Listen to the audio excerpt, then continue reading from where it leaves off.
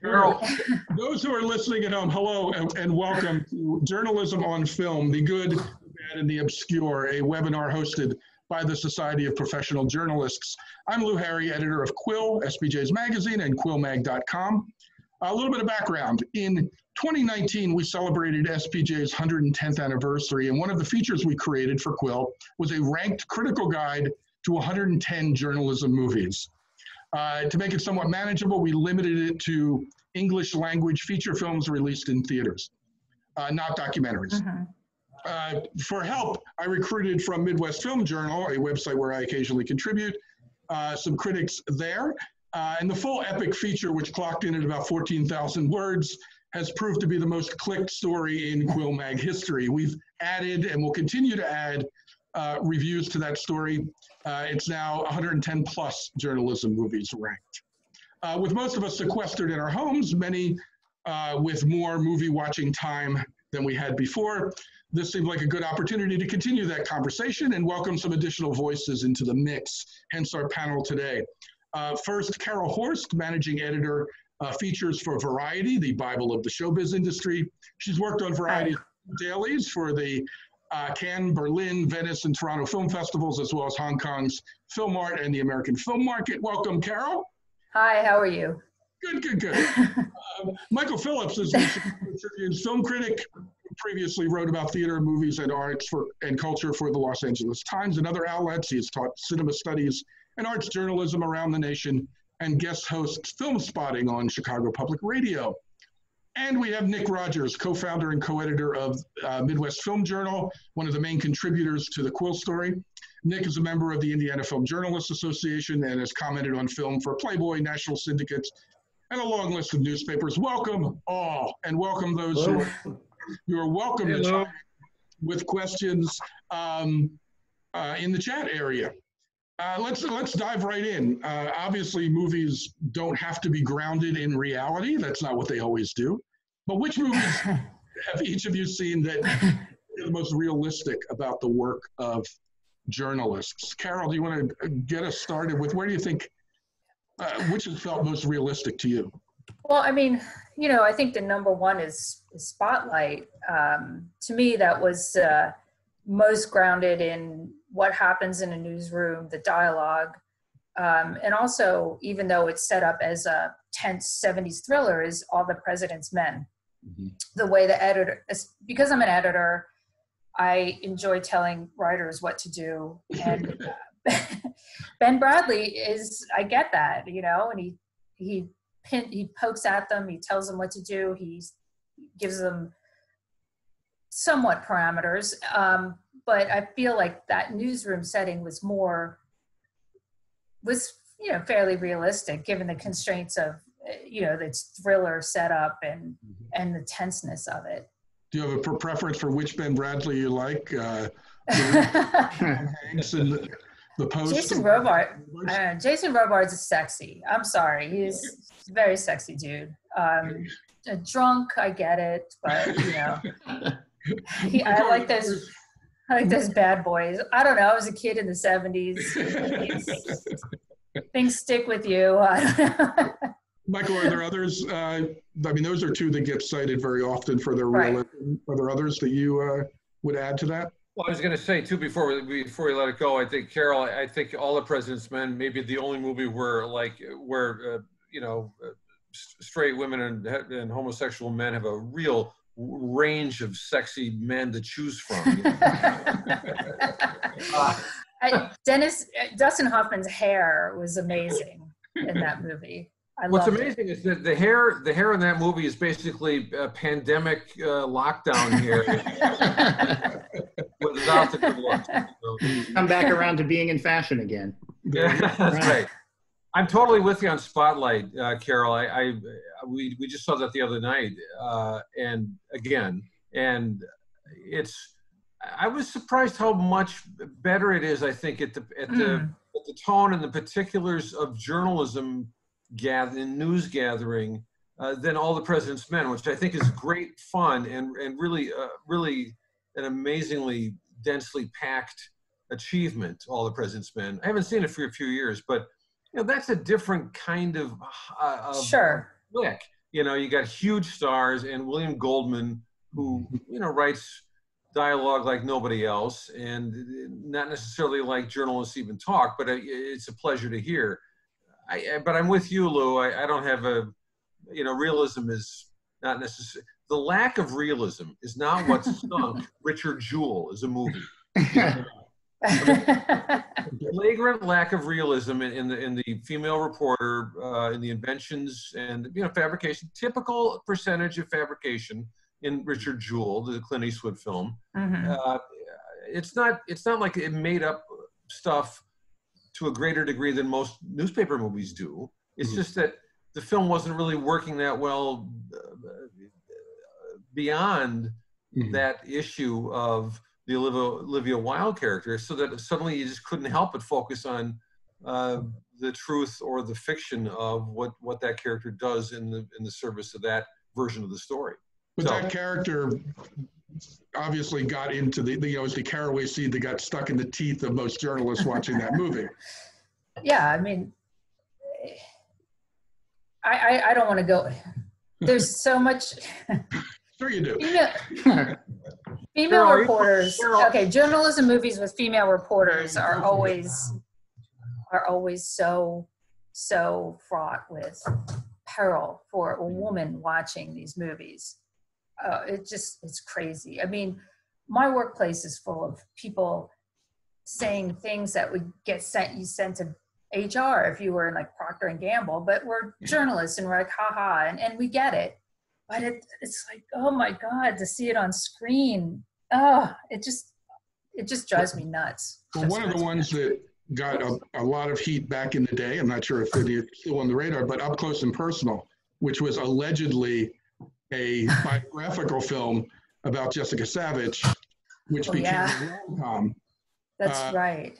Nick, have you seen? Was that on your viewing lineup? Um, no, I, I think I somebody else threw the short straw. I think on that one from the from the uh, the Midwest Film Journal team. I I've, I've not seen uh, up close and personal, but I know of its reputation certainly as a as a um, a, a huge liberty taken with Jessica Savitch's story. Um, I, I think you know Carole, Carole, and Michael both raised great points about about Richard Jewell. I mean, I you know, it's it's we could we could probably have an entire um, you know webinar offshoot from from that in and of itself. Um, mm-hmm. One of the one of the things, um, obviously, the the the movies brought up uh, already. Um, you know, are, are sterling examples, I, I think, of, of good realism. And one of the things that, that jumped out for me, maybe less of the the hard news and the urgency um, side was uh, the end of the tour. Um, mm. If, if for, for anyone who has ever done a profile of, of right. any of any uh, length or scope, that that pursuit of the kind of the golden question or the or the mm. you know the, the the insight that the person you're writing about has has not considered in a certain way that that entire movie takes that and kind of turns it into sort of an existential treatise on that on on that that pursuit. And so I think that that's another movie that that among those the, the, the best ones on this list, I think, mm. um, you know, kind of kind of jumps out as a as a certain set of realism uh, yeah. for me on the on the opposite side of the of the the writing. And that moment is, I think, important in there. And it's one of the things that I know people love, uh, especially male writers tend to love almost famous. Um, and one oh. of the things that bothered me about that movie was the editor insisting, oh, you need to have the interview with him. You need to get the interview. Whereas that reporter saw so much and would have such a great story, didn't need the interview. Yeah, uh, right. That was one where right. being a journalist got in the way of me enjoying the movie perhaps as much as I should have. Um, most, I, I hope you've at least taken a look at the list. Is, are there films that you think are underrated in the genre that you think should uh, you know, somebody should consider taking a look at this weekend. It might not be the obvious ones like All the President's Men, Spotlight, His Girl Fridays, Kane. Um, well, go ahead. Sorry. I, I, was just going to say, I, I just rewatched To Die For uh, the other day. And even though that's not high on, it's kind of high on the list, what it, it shows me is, is a prototypical Fox News woman um, Nicole Kidman's character, uh, Suzanne Stone, should she had if she had continued on then she would have been on fox news which uh, this movie came out a year before fox news launched. And the and seeing it at the time i remember seeing it like oh this i love this movie. I, I thought it was a lot of fun and real interesting and everybody's great in it. But now with the perspective of distance and what we've seen over the last 20 plus years of what's happened to our media i'm just like whoa i was mm. if, if you look at it in a different point of view i thought that was interesting i just saw it from a whole different angle The film held up well for you? oh yeah, Yeah. absolutely But nicole I kidman's great More troubling than it, than it seemed initially, maybe, right? I mean, just because the world sort of caught up with it. Yeah. yes exactly I mean, I don't have any pro. I I, I think uh, I forget how far, uh, how high up in the poll Lou was Ace in the Hole. I should- Ace in the Hole was pretty, uh, definitely in the 13. top 13, number 13. 13. Yep. Yeah, yeah, I love it. I mean, it's part of it's it's not really new.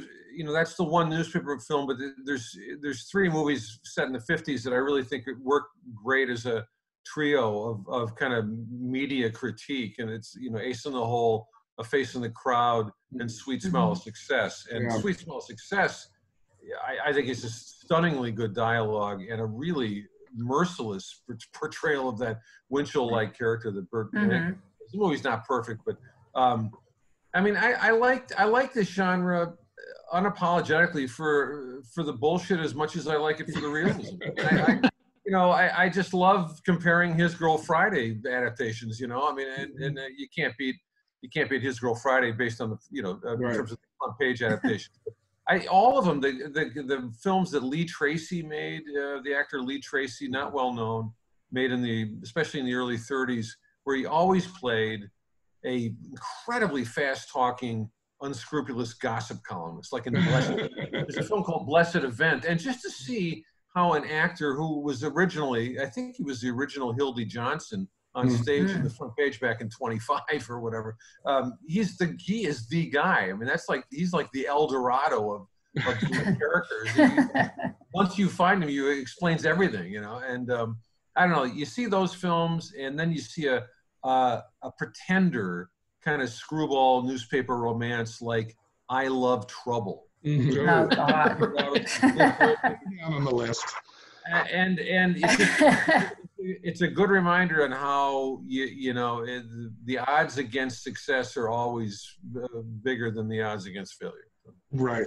And yeah, coming up with that, th- th- speaking of on the comedy side of it, it's interesting because one of the ones that, if we were having this discussion in 1930s, you mentioned the front page, that was considered a gritty, you know, look behind the curtain of what it's like, in a, you know, in a, uh, not a newsroom, but a, you know, Right. embedded right. um, and now it's sort of history and what we see from the perception of journalists in different movies. Watching teacher's pet was interesting to me because i it hadn't dawned on me how much of a split at least that movie presents and maybe it was reality of the career journalists who like went right out of high school into journalism versus the academics with doris day Mm. representing those who actually study journalism uh, which seems to not be a major issue given that most journalists now probably have gone through J school. Right. Nick, were right there the list that, uh, that you think deserve more attention than they've gotten? Um, well, somebody mentioned it in the chat, so so I know I at least have an ally there. I saw it pop up very briefly in the window. Um, n- not the not one of the you know kind of unsung greats, but I think sort of an unsung solid movie is uh, is a movie from 2008 called Nothing But the Truth. Um, It's a movie that that Rod Lurie uh, did um, back when you know wild politically speculative fantasy seemed like you know uh, escapist entertainment, right? Um, you know, it, it, it's kind of inspired by the Judith Miller Valerie Plame uh, controversy. Um, kind of an unexpectedly great turn from Kate Beckinsale uh, in that movie, and not an actress that you would would associate necessarily with, um, you know, this genre or even or even um, you know a, a kind of a, a, a standout performance in within that genre, but um, uh, kind of a, a, strong, entertaining, kind of pulpy enough rumination on on First Amendment attacks and and governmental accountability. Um, Mhm. so so I would recommend that. I don't I don't know offhand if it's streaming on any um, subscription service or not. Um, but uh, the other one I would say that you know is is certainly better known or better regarded, but maybe you know um, people have forgotten about it a little bit. Uh, is the Insider? Uh, that was a film that I Oh, had that not was good. uh, Oh, the yeah. Insider was a was a film that I had not seen in many years prior to revisiting it for this project, and I was stunned by um, just how well that has uh, held up, not just as a you know as a, as a story of, of journalism, but kind of within Michael Mann's overall. Uh, uh, overall work. I mean, it's very much the outlier in that it's not about physical violence, but um, that that menace and that threat uh, is still is still very prevalent in the visuals of that film. And I, so I would I recommend if it's been a while since you've seen The Insider, or if you happen to have not seen it, um, strongly recommend uh, trying to seek that one out. Mentioning some comedies that probably have the deepest penetration among people. Things like like Anchorman and Groundhog Day. In addition to being entertaining, is there something to to take away from those about journalism, or is it just cartoon fun?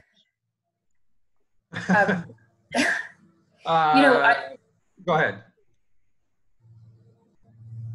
Go Go ahead. Oh, I was going to say so so many of these uh, movies that have journalists front and center, like Anchorman. I mean, they're they're like uh, they're there because it's it's a good way for a screenwriter to construct getting some character access to a TV studio or this or that. Um, so many, I don't, so many movies with women.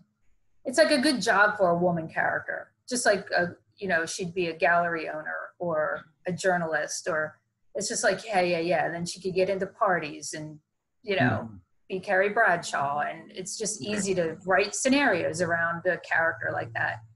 Um, so there's that distinction on this list of like someone like hildy johnson and his girl friday who is like i've met people like who are just consumed by it's it's I've had to, I have issues with that movie, but she is so consumed by her job and what she wants and being a journalist. It's different than just Ron Burgundy. I, I mean, obviously, Sure. who's who's on TV because they like to be famous. I mean, I liked Anchorman. I thought it was funny, but um, Hildy Johnson may be a good transition into broadcast news. How I do you- love that Broadcast movie. News is holding up. Which that was that was our that was probably our biggest bone of contention in this list. Lou was the ranking for broadcast news. There was a lot of debate and discussion. Yeah, there was a lot of debate and discussion. It ended up at, at number 38, which which seems almost unfathomable to me. But we we won't bore people with the inside baseball back and forth on that. I, I mean, I, I think that's just that's a terrific movie that I think has also, despite some of the trappings of the era in which it was made, has held up um, tremendously Mhm. well as a, as a story of of you know values and vanity within um, you know within the business. Uh, uh, you know, certainly, uh, you know, I, I would personally put that one higher. I mean, I can understand, you know, you could, we could, we could have any, any number of, of back and forth for, you know, where it landed, but, um, you know, Mhm. that, that's a, that's another one, um, you know, that's really strong on the list for me. I guess as far as, as other comedies go, probably on this list, the one that comes closest to actual journalism might be Borat. Um, uh, in in in the in the in, you know certainly in a in a muckraking sense, I guess, but you Mhm. know certainly certainly in a uh, quasi documentary sense, you know the, Yeah. the the verite aspect of it. Um, you know, it, it is in its own way, you know, somewhat of an act of journalism about how how people want the USA to be seen and how the USA is actually seen uh, in the world in, in a lot of ways. So um, It's funny because that, that film came out was I was really hot for it when it came out, and, and it's by far uh, uh, Sacha Baron Cohen's best film by a mile. oh, yeah. and uh, it Mhm. came out at, at a time that seems so uh, starkly divided with with with the uh, you know Iraq War and and just sort of the American patriotic ethos at home and the rest of it. And now with with the Trump administration, it just seems like that's just such a pussycat of a movie now. You know, you know that's another one where life life has sort of overtaken it and. Um, you know, one, one film I, I, I wanted to stick up for, just it, it's incredibly minor, but I really enjoyed it, and I, it was very influential for me at 16 years old. was Between the Lines. The Joan Oh, I mean, I love it. And anybody who's my my my first full time job was at the Weekly in Minneapolis, City Pages, and it was always about to go under. And uh, you know, um, it uh, to me is as as kind of soft and romantic as a lot of it is, and there's barely a plot. It's just kind of stunningly good company to sit around with Jeff Goldblum as this kind of stoner rock critic and all and, and actually the women's scenes are really good. I think they're not really particularly well written but the way silver the director joe Micklin silver directs Lindsay Crouse and jill eikenberry and and those scenes really have something. And it's the kind of relaxed investigation of a little bit of character in the middle of a um, you know a, a small but really really i think a pungent movie about about trying to hang on to your ideals and this is a big 70s thing anyway about like how how do you hang on to your ideals if the once once the 60s are gone Um, a rare film about an alt weekly when we're talking about the exactly. yeah, and actually you know written by a guy who worked for um uh, for uh, uh no, not the phoenix but the other one i forget. Yeah. um in boston. So you know it had a little it had it had a little something to it i thought. Mm-hmm. well who else is has anybody not seen that film a terrific movie. I think I saw it in college a hundred thousand years ago. Two films that have been brought up uh, in the chat, which are, are outstanding and ended up high on our list, uh, are Shattered Glass and Yeah. Zodiac. Both, both that sort of show the the challenges and the difficulties, I think, of accurately reporting yeah. stories. I think that in a way they kind of go together. Anyone want to talk a little bit about Zodiac? uh, I tried to rewatch that because I thought it was. Tr- I, I love David Fincher movies, it, but it scared me. It was Mhm. so brutal Mhm. uh, that I just I'm like I can't revisit that. Yeah. But yeah, but uh, yeah, it, it's Yeah. any, I mean- anyway. I, I I remember it being very brutal and very honest and very scary. one of the few that seems to be about the fact that we may not be able to figure out the truth. Right. That it's Yeah, not that's that's yeah. not an automatic ending. and and I think I think at least for journalists, you know, in, in part, you know, and certainly for for other, you know, everyday audience members, I think that that movie feeds off of that specific part of the anxiety of the pursuit, right? Of not finding that answer, the anxiety, the anxiety that nothing is at the end of everything that you're doing. That you know your compulsions and your and your your you know your territorial fights, as there are many in that in that movie, just ultimately amount to you know what other parts of your life you've lost to that you know kind of that mad pursuit um, you know I, I- I think um, you know if, if we were doing sort of an individual top five zodiac would definitely be in there for me um, you know I, it's not an easy watch um, you know uh, Carole is is is correct on that it's it's not something that you want to revisit very often because it very much sucks you into that that Mhm. feeling and that and that mood Mhm. Michael, has, uh, have you run into characters like those in Shattered Glass? yeah, they, yeah, uh, total weasels. Yes. Uh, uh, yeah. Of- I'd like to say one more thing about Zodiac. The one thing I find that film terrific, and it's because of that that really challenging, unresolved ending, and and just this pursuit that goes in circles. It's it's an amazingly um, uncommercial picture. I mean, I mean, I, I Mhm. always, I always, I, you can point to how that film did overseas, where in countries like France and you know a lot of Scandinavia, where they would maybe, maybe more historically be willing to sit with a really difficult movie with big stars and has sort of a commercial patina, but really it just doesn't deliver any of that story that you're looking for. If you're mm-hmm. just a general audience member, it tanked everywhere. Nobody saw that. film. yeah It just didn't work. And such a good movie. But it's always, cast, bugged, it's always bugged me because at the time Fincher said to, to some where he said, he said, if I if if I've done this right, this will be the last serial killer movie anybody has to make. And it's been so disheartening for me to see him just sort of revisit that that uh, that world in a much you know kind of slicker, more palatable, and totally grisly fashion, and things like the girl with the dragon tattoo and all. And those movies are just, you know, I think they're just they're beautifully made and sort of shallow. And Zodiac just feels like it's a grown-up movie. Hmm. Yeah. Let's go to Shattered Glass then, which I know that uh, of journalism teachers that I know, many of them have used that in classes because you know journal it's very can be easy and tempting for a journalist to shade the truth, uh, Yep. to clean up a quote, to Yeah.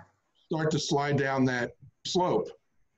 Um, I'll just say I haven't seen it in a long time. I want to hear what what others uh, what, the others have to say about it. But I I, I think it, it there, I did a, U, a USC NEA Arts Journalism Fellowship, and we did a a few years ago at, at USC, and uh, and the most fruitful discussion and really the most arresting discussion we had. It was about 15 people, some just out of college, a lot of mid-career journalists. We all we got on this topic sort of impromptu about um, ethical dilemmas, conflicts of interest, things like that. And everybody's stories were so radically different, and everybody's yardsticks were kind of Mm, uh, very different from their their neighbors, depending on what job they had, what part of the what part of what city they did the job in. Uh, it was it was alarming how little objective um, uh, agreement there was about what does or doesn't cross an ethical uh, mm. Mm. journalistic line. So I, a film like Shattered Glass is, is great. Uh, it's good on its own. It's great discussion fodder, as you say. Other thoughts on that one? I, I recommended that to my daughters. Oh, I just recommended it to my kids because we were rewatching all the Star Wars movies, and I'm like, Hayden Christensen actually is very good in this movie. they didn't Yeah. believe me. They didn't believe me that he could act, and I'm like, well, yeah, he's very good in that. Mhm. Very Um, other favorites that are popping up in the uh, in the chat include the paper, which um, I think for some has that ensemble feel that that some folks sort of find pleasure in from for a newspaper film. The idea of all these different personalities working together is that. Do you think that is uh, one that deserves the love that it gets, Nick? I, I, I mean, I enjoy that movie. I, I probably, I'm, I'm good with where it's at in the list. I feel it's, it's, it's, uh, you know, to me, it's not too high or too low. I mean, I, I think that movie definitely knows that it is tweaking the conventions of the, the movie genre as much as it is uh, the, the job itself. Um, you know, I mean, it, it, it's, it's readily apparent throughout, but it's, but it's, you know, the, the, the, press stopping moment where they comment on, you know, Mhm. I've always wanted to say that. I mean, it's, you know, I- mean, it's it's in as much a, a Valentine to the journalism movie as it is to you know Mhm. the the camaraderie and the spirit of a newsroom. You know, great withering lines about columnists in there too. Um, you know, just good inside baseball stuff that, that we can all laugh at. I think that you know it definitely has that commercial, bouncy Ron Howard feel to it. It's it's not a classic. I don't think it's even Ron Howard's best movie about journalism. I would put Frost Nixon above it. Um, Ah. but but it, but it, but it's still I, I, I like the paper. I think I think it, its place on this list is is warranted and you know where it's at. I, I think that movie holds up as, as a piece of entertainment if nothing else. and all of you write and have written criticism, do you think that the the way that critics are portrayed in movies has sort of hurt the reputation of those in the in the job? I'm thinking something like Having worked with many critics, no. Having to Hey, edit. that's it. I'm, I'm sorry. I'm getting out of this Zoom. Forget it. I'm- forget it. Um, all about. the bird. I just watched it All About Eve again. Speaking of Oh. critics. Okay, Um, anyway, right. That's But Tim DeWitt. how- or Lady in the Water, right? With uh, where the where the critic is is one of the the most violently hacked apart victims in that movie. Um, M Night Shyamalan film from from maybe Yeah. about 15 years ago with with Paul Giamatti. Um, About 15 people saw in the theater. one of them, yeah. I feel that critics, you know, okay, I, I can joke about critics and because I work with so many of them at Variety and have worked with amazing critics, um, including Todd McCarthy and Justin Chang at the LA Times. And I feel that making fun of them and being them figures of fun or backbiting or just, you know, the the George Sanders kind of like guy I feel that really hurts the arts. I feel I feel that really hurts the arts. I feel like really smart criticism is so valuable to and, and to make these people cardboard figures of fun it, it just does a disservice to real critics who are so thoughtful and so smart and just add so much to a film goers or TV viewers experience. You watch something and then you turn to, say, my colleague Peter Debruge at Variety, and like, oh wow, that's interesting. And mm. and it, I feel, I mean, I I feel like I'm on a high horse right now, but I do feel it does hurt um, the critics, especially critics are always the first to be cut now. It seems at news organizations. Mm. Um, and I know at Variety we have cut down, and all publications have cut down on their critics, uh, their budgets for critics, and I feel that really is does a disservice. Mm-hmm. But I, I think too, it it also kind of gets at an underpinning where we're at now with it weakens people's willingness to consider an opinion that diverges from theirs if it's well mm. reasoned and, and well thought out. I mean, I, you know, yeah, it's it's a movie. You could say that. I mean, it's just somebody's thoughts on a movie. But I think you know all of those little all of those little cuts add up to you know. I mean, it can be a pretty cumulative disconnect between well, you know, um, you know that person's just a critic. They don't agree, you know, because they don't agree with me. Um, right. You know, I, I, think that that's also dangerous, and that's dangerous well beyond the field of, of the arts too. I, I, think that you know that kind of discourse when it's when it's not an attack on somebody, when it's you know when it's a um, you know well thought out argument. Um, you know, I think some of that art of you know spirited and, and collegial discussion and debate is gone. Um, hmm. Yeah, I think it. I, I mean, I, have I've done it at six different papers. You know, either uh, writing mostly about theater or film, depending. And it, it I, I think there are. I mean, the dumbest critics I know are the ones the, who are the most insular and kind of ivory tower and never do any other kind of writing or uh, don't they don't spend their time doing anything except sort of halfway up their own hmm. and you know it's a, it's a different I'm not I'm not a reporter by nature, but I, I, I, you know I had to do a certain amount of reporting, like most critics, uh, by necessity mm-hmm. on the beat, and and then there's uh, you know every kind of profile and commentary and obituary and all of it, and it's it's all at the end of a year you tend to look at what you've accomplished as you know it's and if you have if you're fortunate enough to have a job that um, at a paper that still values criticism to some degree you're still doing the majority of your time is spent mostly what you what you'd love to do. Mm-hmm. The rest of it is also great. Uh, um, it's it's like continuing education for you, and it's just better for the paper to have you know a certain amount of versatility going on. Just like we've all had to, you know, deal with more than one um, medium in in recent years. We we have to, and we should. Um, I don't know. I I love. Uh, um, you know, I, I love the old, you know, I, I, the fact that movies as good as Laura, Clifton mm. Webb typing in the tub, uh, and and All About Eve with George Sanders, as you mentioned, and and and as good as Ratatouille, frankly, mm. Anton. Oh. The fact mm-hmm. that those films of mm. that quality, very different, all of them, you know, eh, going for this a similar stereotype or archetype of the critic, it's bailed out, I think, by the quality of the writing and and. Mm the acting, frankly. But I see a movie that's you know that's okay, but much more heavy-handed. I think like Birdman, where that mm-hmm. scene with the critic, where Michael yeah. Keaton, you know, has to basically gets chewed apart mm-hmm. slowly, quietly at the bar by um, uh, the drama critic played by, and I'm forgetting her name, with an excellent actress. Shoot, uh, in Birdman, who, who does that scene? Yeah. Rob liking. I know I cannot remember I'm, I'm, on it. I'll find it in a second. All right, good, good, good. Um, you know that scene. I thought that that gets at more what Carole's hmm. talking about. I think for me, just that it, it's it in way in a way that scene is dead serious about the worthlessness of of uh, critical voice, and uh, you know I, that movie's diverting enough at its best just because it's always on the move and it's got you know an interesting look and mm-hmm. all the rest of it. But I, I find it I find it you know, useless on that stuff. it's uh, Lindsay Duncan. Lindsay Duncan. Uh, you know, Oh, yeah. I do not blame the actors. I always say with movies, everything has, a chance- everything has a chance to go wrong before anyone gets to the set and, and says, you know, action. So yeah, I think I blame the writing there.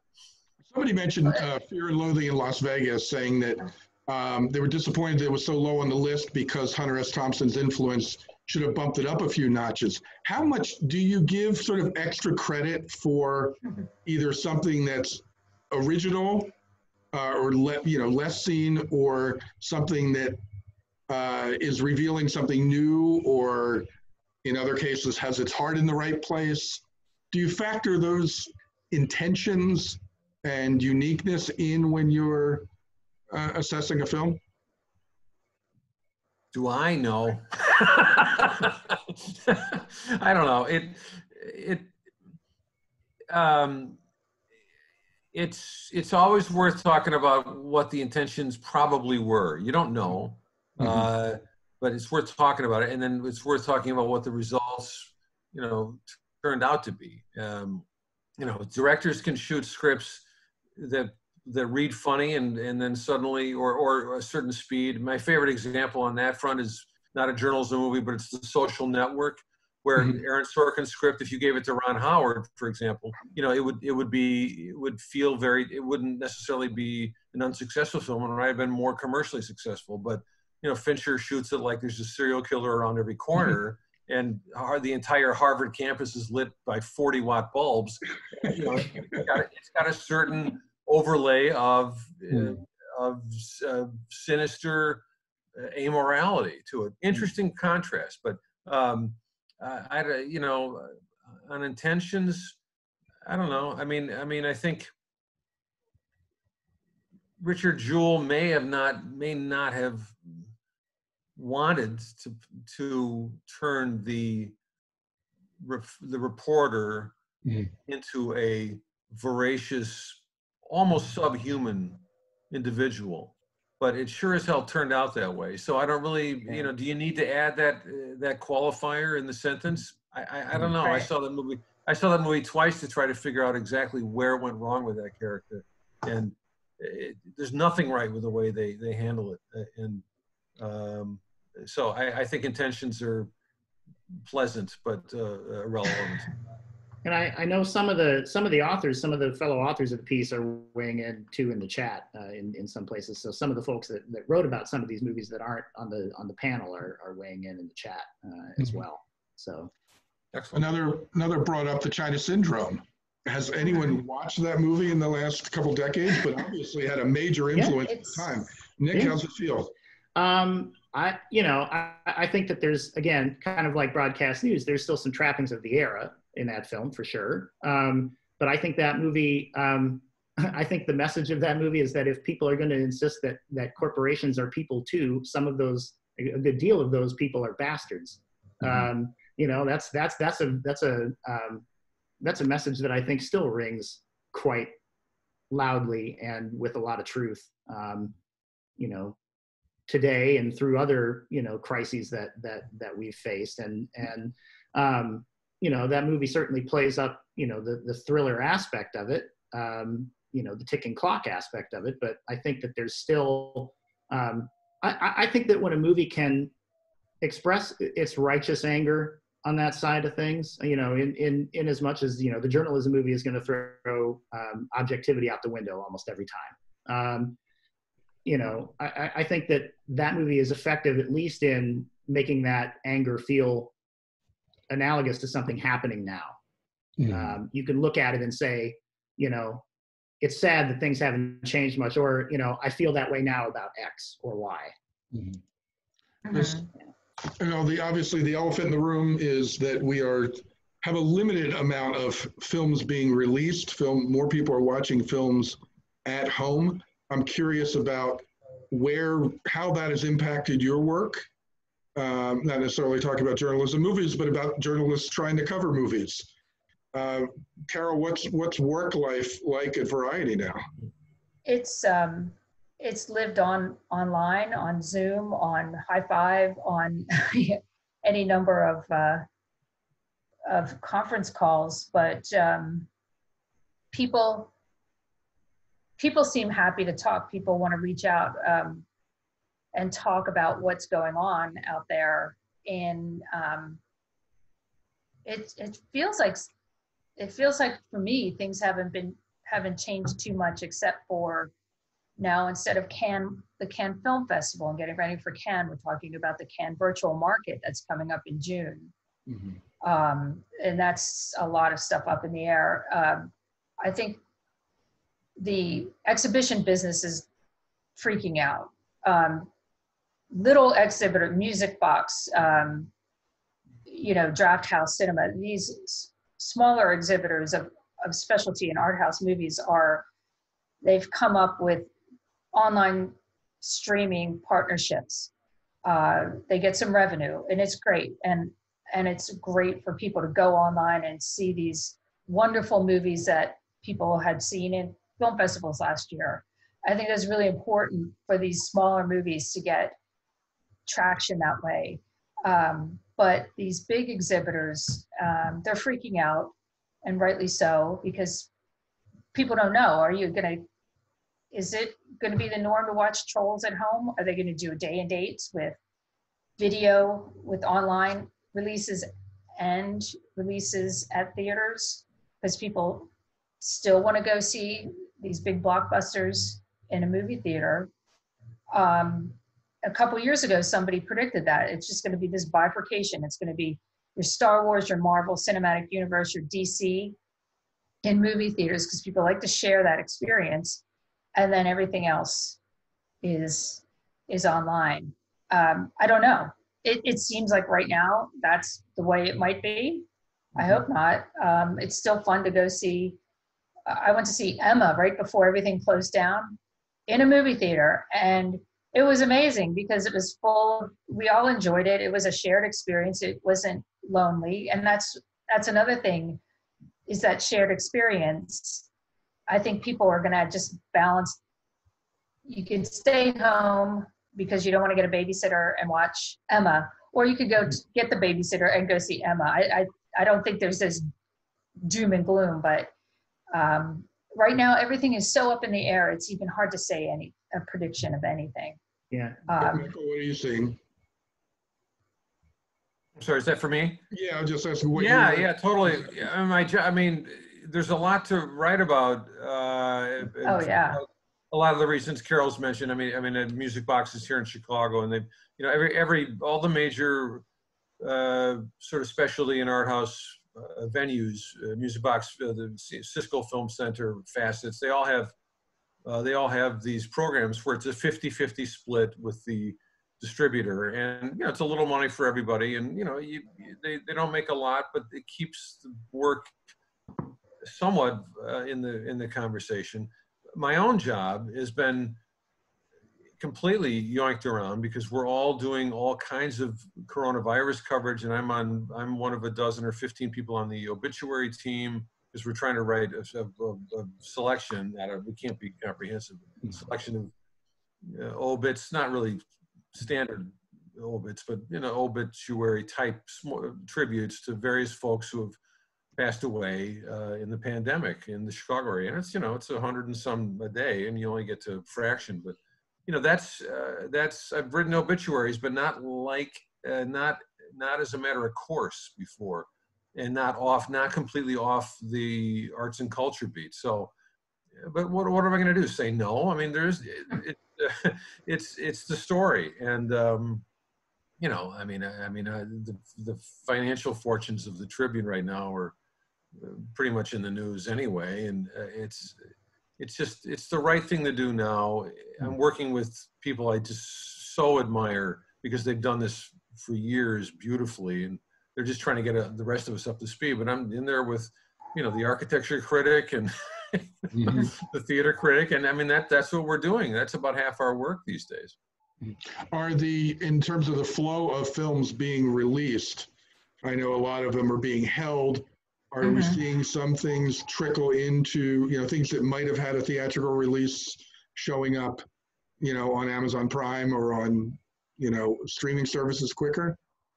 A lot of yeah, definitely. Yeah, yeah. There's been, yeah. But, you know, again, not those major studio movies. hmm I mean, I think Universal was smart to put Trolls out because that's a, aimed at children and people with families, and it made sense. hmm Um, it's not going to make sense with Wonder Woman or all the other block, but the James Bond movie, hmm um, Yeah. because that is a more of a big screen experience, whereas children are used to watching cartoons on on a smaller screen. Um, I I work in the features department, so we, I'm doing a lot more reporting, uh, gosh, about locations, can, talking to sales agents, talking to people that normally would now be packing their bags and getting ready to go to the south of France. Um, where are those movies going to go? Nobody is quite sure. hmm Um, there, Toronto and about 20 other film festivals are going to have a virtual festival. Oh, Gosh, when is that? At the end of May, Yeah. I believe it is. Yeah. Is there a chance that some of them could actually make more money that way because they're more, the, uh, they're casting the net wider in terms of being able to find an audience? People wouldn't necessarily be able to go to the south of France, could buy a ticket, or they, or there are limitations? Well, a lot of those films that go to the fest, the Cannes Festival, they they don't have distributors already. So, Yeah. um, and the ones that do have distri- distributors are they have prescribed plans. Uh, Mhm. This is PAX award season at the end of the year. Um, it's like a whole bunch of dominoes. You don't have Cannes, so what's going to happen with Venice? Probably nobody's going to go. Venice says they're going to happen. Who wants to go to Venice? Uh, you know, at the end of August. I mean, doesn't, doesn't No. seem, doesn't seem safe to me. Yeah, from. yeah, Right. right. So you have all these dominoes uh, that get thrown down because Cannes not happening. And what does that mean for distribution in the fourth quarter? A lot of these movies are not going to go out on more than 800 screens. So you have this bottleneck of movies. Are they just going to hold to another year and go for because awards is so important to a lot of these smaller movies. hmm It's just a, it's just like a whole lot of moving parts right now in the film business. Um, personally, I, I I think that a lot of those, the Academy just changed their eligibility yesterday, and they said you could you don't have to play in a theater for a week in Los Angeles or New York. You can just be online. Uh, as long as you make your film available to Academy members through their own streaming service. Um, so that's huge. That Mhm. that's huge for these little movies, you know. Mhm. Um, So last year, if that had happened, Bird Box might have gotten Best Picture. to, to your point, Lou, about movies that I think would would get a, a bigger audience because of this, or that maybe maybe I just even hope would get a bigger audience because of this. I think of a movie like Never, Rarely, Sometimes, Always. Uh, Mhm. that Yeah. that opened that opened, I believe, the weekend before everything just kind of shut down. Um, one of one of my favorite movies from this year so far. Um, Universal through Focus put it on uh, on demand for a, a 19.99 rental for 48 hours. I think they've since cut that down to 9.99. I think that you know my, my hope is um, you know people see that and read about it and think you know well okay I you know I'm, I'm going to take a gamble on this. I think I think people are more likely to take the you know it's sort of like the Mhm. um, you know, it, it's sort of like the, uh, the the Netflix scrolling problem, right? I mean, uh, decision, decision paralysis. Maybe they'll just say, okay, we're going to try this. I read, you know, I read Michael's review of this, or I, re- you know, I heard good things about this film. I'm gonna I'm gonna check this out. And and you know, going back to the babysitter and the and the arrangements there. I mean, it's it's it's less of an investment. It's You've just less of a saved a lot financial of- investment. You've saved a lot of Right. money popcorn. Right. I mean, so so my hope is that for some of those films that you know do have distributors or that or that you know were in the pipeline, that that they can maybe find more of an audience and maybe more of a um, a foothold, uh, you know, in whatever the whatever the viewing world looks like looks like now. So Some of the, uh, do a quick, uh, a quick lightning round. Some of the films that have been brought up, if anyone wants to chime in with any thoughts or opinions on any of these that folks in the chat have brought up. Uh, Morning Glory with Rachel McAdams and Harrison Ford and Diane Keaton. Uh, Kind of a near miss. I didn't see it. Yeah, my memory is that it was a near miss. It was just frustrating because I think McAdams is first rate, and she she could she can basically do anything. I think, and and uh, that film is just sort of a soft, indecisive, you know, occasional digs at you know TV and morning television priorities and all that. I, I didn't, and I think there's a I, the audience is not necessarily always right, but I think in that case they were. They people just didn't have a strong response to it either way. So me neither. the Soloist, another one allegedly based on a true story, but obviously oh, it's pretty yeah. loose. Yeah. it was that talk about hooey. I mean, I mean, you don't even have to know the real reporter Steve Lopez or the real story to kind of yeah, that that was one that, that also tried to be about three different movies all at once. None of them terribly good. So. Yeah. Yeah. Um, I, I, thought the sanctum, the san, you know, it's it's. I, I just don't like stories that are, well, essentially trying to tell two stories, as you're saying, but maybe made it more. Mm-hmm. But you know, where the where the the the white journalism story trumps the African. It's just you know, it's just it's the racial optics blow in that movie. It's just. It's yep. Uh, the ugly side. How about something like Natural Born Killers? I, I hated that movie. I, I can't. I, I can't even go there. I hate it. Hated that movie so much. I, I had my it Listen, gave me, I, gave me a migraine. I haven't watched it since, although I do have it as part of some big Oliver Stone omnibus collection. I've, I've never watched it again. So uh, it, there's no reason to. I, I, just, I, I mean, I, don't even want to go in. I don't want to say you could trace the pandemic back to that film. I, am not saying you couldn't. um, Something like one of the colossal bombs that there was high hopes for, Bonfire of the Vanities. Oh my God. I just watched that again because I saw it was on the list. Mm-hmm. And it's just as bad as it was uh, when it first came out. I, and I, I thought the book was terrific, but God, just that opening, opening scene is like, what is going on here? And why is he? I don't. Oh, there's so much wrong with that. It's just, it's, it's stunning. Yeah, every decision wrong. It's every. If I remember, I mean, it's one of the better uh, making of books. Devil's oh yeah. Uh, about the making of that film, if you like, yeah. behind how how how messes happen.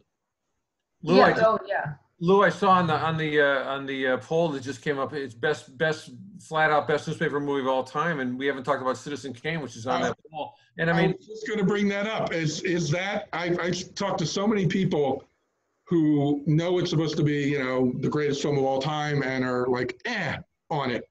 The, is is Citizen Kane as great as its reputation? Well, yes, and, yeah. and it's, it's been fighting. It's been fighting this lavish praise, you know, its entire uh, career since it came out in '41, and, and it, it's it's not strictly speaking a newspaper film, hmm. and it's it's about a, a you know a callow uh, and finally kind of a lonely somewhat tragic figure who you know part of the fun he had was running one of these things. Mm. and and it's just it's it, that film just astonishes me anew every time. I mean as much for every every decision about how it's going to work visually as it is what it's saying you know quote unquote. Um, I, I, it's it's the least of the journal it's the least journalismy of these four that make the best journalism film poll results. So between Spotlight, All the President's Men, and His Girl Friday, which is at zero percent, I'm, I'm determined to get His Girl Friday in this race. Gonna... um, we're gonna we're gonna wrap things up at an hour here. First, I want to let people know uh, to find out about other webinars and more SPJ activities, including a wealth of coronavirus resources. Please visit uh, spj.org. Uh, this is an extremely difficult time for journalists, obviously, with news outlets closing, freelance jobs becoming scarcer. Journalists continue to report even without the promise of a paycheck, sometime knowing that keeping you informed is the best way to overcome the pandemic. Uh, on, on April 30th, uh, if you were listening to this before then, uh, you can help SPJ create its Journalists Emergency Fund, which will directly support journalists facing financial hardship. If you're able, please make a gift at spj.org slash day of giving back dot asp. Um, any le- movies that we haven't mentioned that you'd like to just throw into the conversation before we uh, before we close? Nick, what's a movie Um, brought up? What's a movie we haven't brought up? Um, well, I mean, I, I think there's two more broadcast ones, um, kind of two sides of the same coin in a lot of ways. Network and Christine. Uh, there were two Oh. films. Obviously, not the demonic car Stephen King Christine, Christine Chubbuck uh, uh, biopic Christine. Um, uh, you know, I, I think that as we look at, you know, especially again in in in current times, we see the mental health toll on people. Um, you know, uh, you know, working at the very forefront of, of of combating this pandemic, and I think that you know those are very real issues too. That um, you know that perhaps one to a more sensational degree than the other those two films address the you know the um, the the complexities of of the personalities and the frailty sometimes of the of, of the mental health um, that, that that can that can result from that so Carole, do you have uh, anything we haven't mentioned? um, the interview. Uh, yeah yeah, I mean, timely the- timely again as well right I tell you, you know, yeah, at the, the very beginning, um, you know, I get that a lot at Variety. Oh, it's not real journalism because I mean, you get that internally too. People have, uh, we have inferiority complexes because we're not covering, you know, Watergate or whatever. Um, but, um, you know, we are covering the entertainment business. And gosh, that really hit home. That, that very, and I like those I like Seth Rogen. He's funny. and it, you know, it spins out of control and nobody takes notes. And anyway, but it's just, it just cracks me up. Very good. You know what film I really love? I really love Capote. Uh, and that's it's Oh, not yeah. really a journalism film, but it's it's a nonfiction nonfiction you know, reporting film, I guess you call it, just because it's you know Capote and Harper Lee trying to get the story that turns into in cold blood, and that that I, I find that very very sharp about how it plays Capote's uh, strengths and weaknesses uh, right down the middle, so you're left with a very ambiguous and pretty troubling portrait of a, a guy who got the story but kind of lost his career. It's you know simple description, but uh, that I love Mm. Bennett Miller's film Capote. yeah Yeah, that's also a great good. one. Yeah. Thank you. good. Thank you all for being a part of this. So thank Nick Rogers from Midwest Film Journal, Carole Horst from Variety, and Michael Phillips from the Chicago Tribune. Find them all at various websites and Twitter handles and all of that. Follow them, pay attention to what they're talking about. Good stuff. Thank you so much for being a part of this. Thank Thanks you, Lou. me. Thanks, thanks, Lou. Thanks for listening. Bye bye. Bye.